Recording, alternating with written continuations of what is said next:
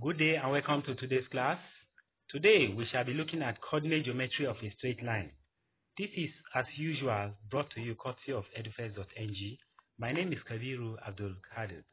Now we are going to start with midpoints of two points. Now, if, for instance, you are given two numbers, 5 and 10, and then you are asked to find the midpoint between them, now what you do is to find their average, and that's all. So you say 5 plus 10 divided by 2, that's 15 divided by 2, and then you have 7.5. Let us not bore you with too much English. That is what midpoint means. But when we are talking about using, finding the midpoint using a simple graph, then it means we have to apply the formula.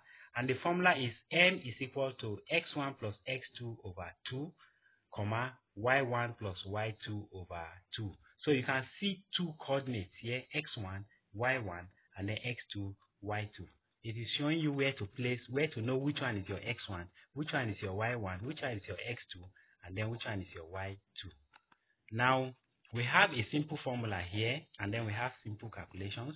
Now, when you are given the coordinates, that makes your work very easy. You don't need to identify anything. Just know where x1 is, know where your y1 is, know where your x2 is, and then know where your y2 is, and then you substitute them in the simple formula. So in this case, our x1 is minus 2, our x2 is 5, our y1 is 1, our y2 is 4. In substituting them in this formula now, we have minus 2 plus 5, which is going to be 3, and then we have 1 plus 4, which is going to be 5.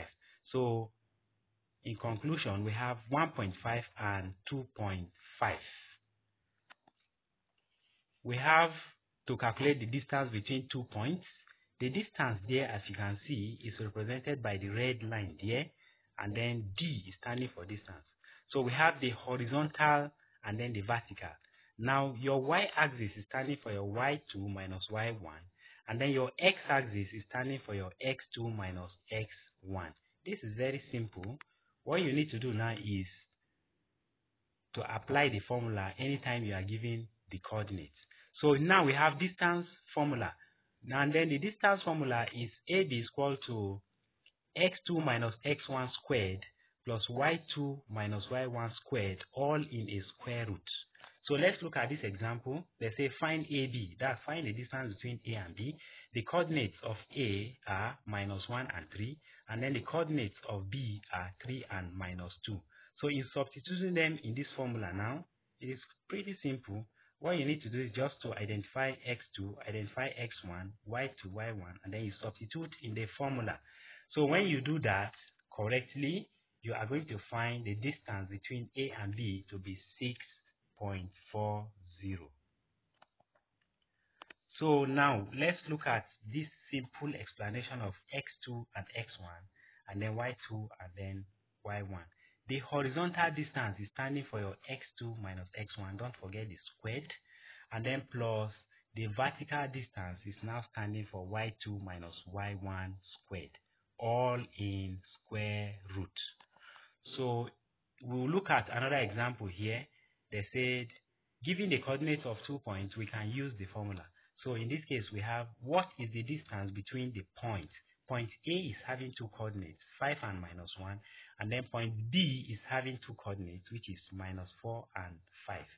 So now, the 5 here is for x1. Then y1 is for minus 1. Then minus 4 is for x2. y2 is 5. All we need to do is just to bring down the formula and then we substitute in it and then get the final answer to be 3 root 13. That is if you decide to leave your answer in surd form. In case you don't want to leave your answer in this format, all you need to do is to use your calculator, press the square root of 13. Whatever you get, you multiply it by 3 and then you get the final answer.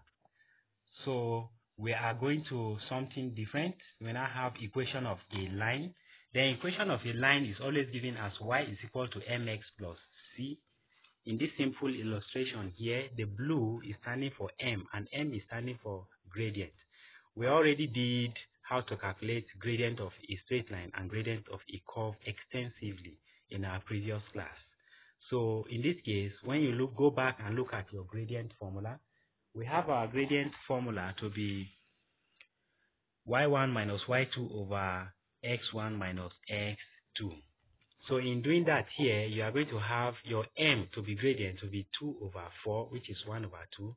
And then your c is standing for the intersection between your red line and then your y-axis. So in this case, they have intercepted at minus 1. So your C is very easy to identify, which is minus 1. So in substituting them in this formula now, y equal to mx plus c, your m is 1 over 2, and then your c is minus 1. So you have y is equal to 1 over 2x minus 1. Now we have another simple formula here, another simple question for us to solve here. In this case, we are going to have y equal to mx plus c. Your m is the slope, which is still the gradient. Now we have our gradient to be y2 minus y1 over x2 minus x1. So our y2 is 2 minus 0, 0 minus minus 3 over 2. When you substitute, you have 4 over 3. So you have your M and then you have your B. In this case, we are no longer using C but B, which is the intersection between your y-axis and your slope, your line. So now, having done that, then we have two assignment questions for us to solve.